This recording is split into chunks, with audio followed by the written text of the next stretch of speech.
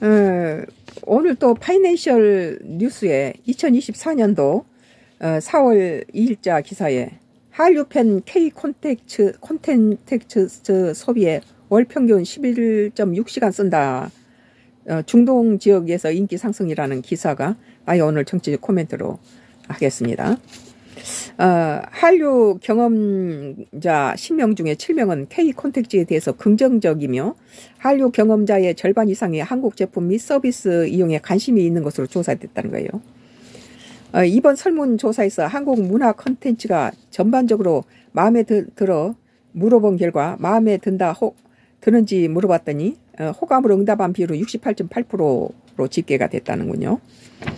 호감이 높은 국가는 인도네시아가 86.3%, 인도가 84.5%, 태국 아, 아 랍에밀리트가 83.0%, 베트남이 82.9% 순으로 어, 특히 동남아시아에서 호감도가 높았어요. 어, 1년 전과 비교해 에, 관심도가 크게 증가하는 국가는 이집트와 67.6%, 인도가 67.1%, 사우디아라비아 65.1% 등입니다. 음, 뭐 중동 국가하고 동남아시아에서 많이 에, 한국에 대해서 호감도가 높아지고 있군요. 좋은 일이죠. 주변 국가에서 같은 아시아권에서 에, 많이 호감도가 높아진 건 좋은 징조예요. 한국 관련 가장 먼저 떠오르는 이미지는 7년 연속 1위인 자리를 취재한 K-팝과 17.2% 꽂았고 그 다음 한국 음식 13.2% 드라마가 7.0% 정보기술 IT 제품이 6.3%, 미용 뷰티가 5.2%, 어, 또 한국에 대한 인식이 긍정적으로 변한 비율, 비율은 66.1%예요. 어, 그래 참 또 아랍에미리트가 85.9%, 인도가 85.3%, 베트남이 84.7% 어, 이렇게 어, 참그 음, 인식 변화가 두드러지게 어, 나타났다네요. 어, 1인당 국가별 한국 문화 콘텐츠 소비량은 월평균 11.6시간으로 인도가 18.6시간, 태국이 18.4시간, 인도네시아가 17시간, 베트남이 16.4시간씩 아 많이들 보내요. 월 평균.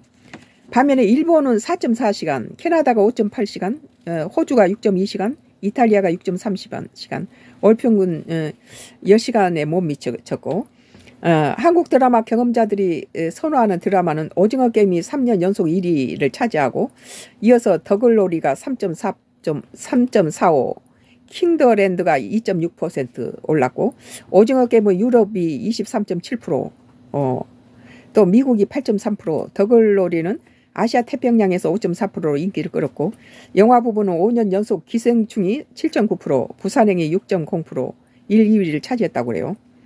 어. 이들은 한국 방문 시 식품이 64.7%, 한국 방문하고 싶다가 61.8%, 음식점 식사가 60.4%, 화장품이 54.0%, 의류 구매가 52.8% 등으로 어, 선호한다고 그렇게 나와 있네요. 에, 참 올해도 인도네시아 자카르타에서 한국 문, 어, 문화 콘텐츠가 연관된 산업 K박람회를 개최한다네요. 아, 성공적으로 되기를 바라며. 에, 참 우리 에, 갈수록 우리 에, 한국 어, K 문화가 세계를 주도하는 그런 앞, 앞장에 서 있어서 많은 사람들이 K 문화를 어, 즐기고 또 기뻐하는 것은 어, 자생적으로 발, 어, 어 발, 발생하는 한국의 에, 문화의 어떤 흥과 어, 또 전통 깊이와 또 한국인의 긍정적 사고 또 그 정치적 자유로운 어, 환경 속에서 이런 것들이 돌출되고 이것들이 세계인의 공감대를 가진다고 저는 생각합니다.